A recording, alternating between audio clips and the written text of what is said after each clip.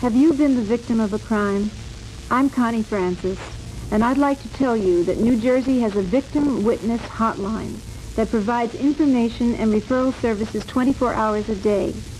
If you've been the victim of a rape, robbery, assault, burglary, or any other crime, and you need help, please call the Victim Witness Assistance Hotline, toll free at 800-242-0804.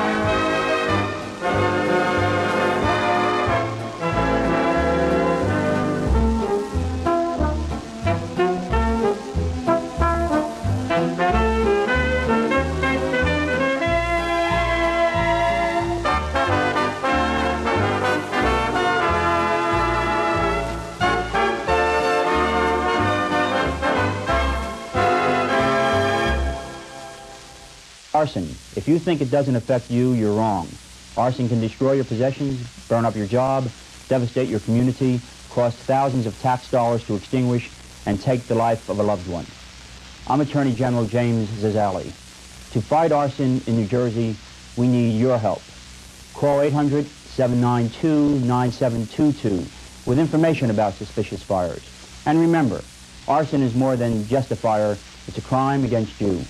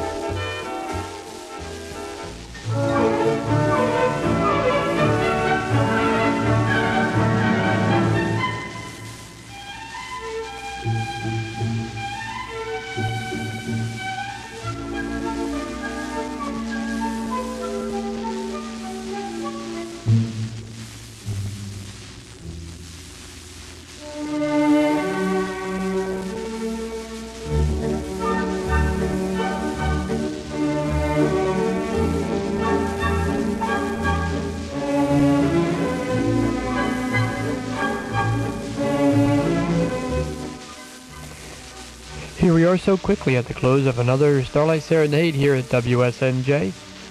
But we've enjoyed playing this music and we hope you've enjoyed listening to it too. We'll be back again next Sunday night for another edition of the Starlight Serenade. Till then, I'm your host, Bob Smith, saying may God bless you this week and always in this new year. Till next week, good night.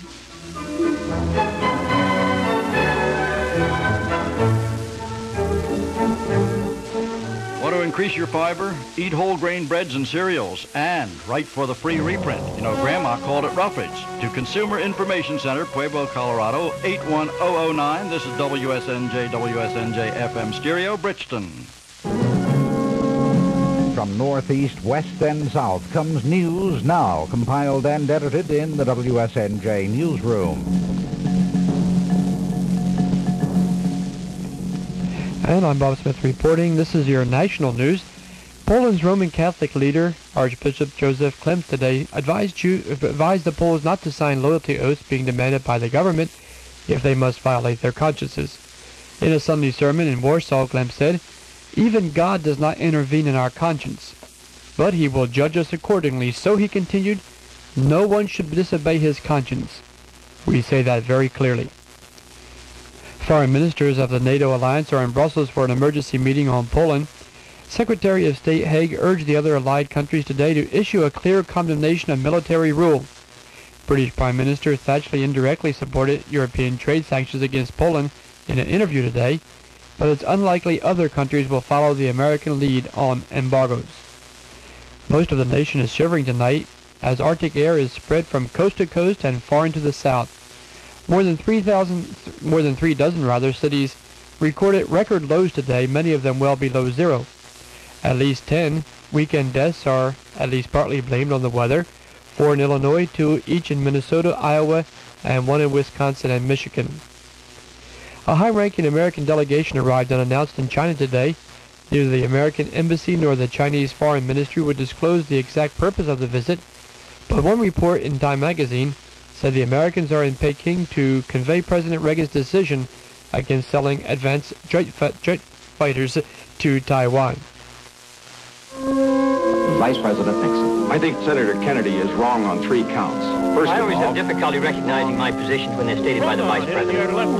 That ball is gone into the Yankee bullpen. Reggie Jackson. We must guard against the acquisition of unwarranted influence by the military-industrial complex. I have a dream. Ignition sequence. That one day, three, this nation will rise up. Liftoff. We have a liftoff. Liftoff on Apollo 11. Ladies and gentlemen, I have a grave announcement to make. Oh, Those strange beings who landed in the Jersey farmlands tonight are the vanguard of an invading army from the planet Mars. This is Orson Welles to assure you that the war of the world Colonel has no Eisenhower further informs me that the forces of Germany have surrendered to the United Nations. But old soldiers never die. They just fade away. America. It speaks for itself. From the Freedoms Foundation at Valley Forge. WSNJ Radio News at midnight continues with the local and regional report. A published report says the booming Hackensack Meadowlands accounted for about 12% of all the new jobs created in the metropolitan area. The Star Ledger today reports that more than 3,100 jobs were created in the Meadowlands, offsetting a slump that saw eight northern counties lose 8,000 jobs in 1981. The Guardian Angel Citizens Crime Fighting Group continues its trek into Washington March in freezing temperatures. The group has lost a few of its original 50 marker- marchers but persists and expects to arrive in Washington on Tuesday.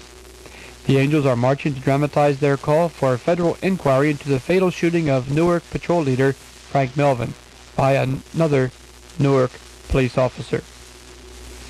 Workers today have stopped a water main break that spewed about 3 million gallons of water into Jersey City streets and left thousands of residents without water for hours. Authorities said the break in a Jersey City Water Department main occurred at about 6 p.m. yesterday and was only fixed early today. All residents reportedly have water again. As a Vista volunteer, you'll work in one of the poorest places in America, doing things like helping convert a vacant lot into a park and playground in Detroit, or helping to find a market for the handicrafts of the people of backwoods Kentucky. Go where the need is. Join Vista. It's a year that will last you forever. Call 800-424-8580. A public service of Vista, this station, and the Advertising Council. Here's the southern New Jersey weather forecast. Variable cloudiness, windy and bitterly cold through Monday with scattered snow flurries. Lows tonight 0 to 7 above, highs Monday 10 to 15 degrees. Fair and very cold Monday night and Tuesday with lows Monday night 5 below to 5 above. Highs Tuesday 15 to 20, precipitation probability 30% tonight and Monday 10% Monday night. Presently at our Carll's Corner studios, the temperature has actually climbed just a hair from 8 degrees to 9 degrees. Uh, the winds are light and the barometer reads 30.05. You have been listening to WSNJ Radio News at 12 midnight. Next scheduled news will be 6 a.m. tomorrow morning. Sign on. We who comprise the staff and management of Radio in Friendly Family Service, WSNJ and WSNJ FM, 1240 and 107.7, hope that you found listening pleasant and that you'll join us again. We return to the air at 6 a.m. Monday through Saturday, Sunday at 7. Our studios and transmitter facilities are located at Carll's Corner, just north of the Bridgeton city limits, Bridgeton, New Jersey. Speaking on behalf of the entire staff and management of WSNJ and WSNJ FM, this is Herb Stiles wishing this new day will be good to you. Won't you join us now in a moment of meditation as we share the Lord's Prayer?